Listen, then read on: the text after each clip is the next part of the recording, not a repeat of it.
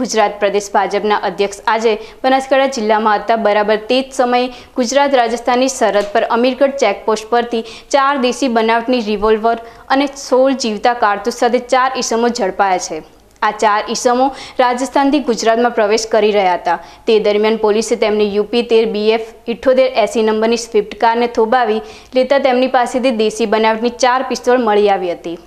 આ ઉપરાંત આ ચારેય શખ્સો પાસેથી ચૌદ જીવતા કારતૂસ પણ મળી આવ્યા છે.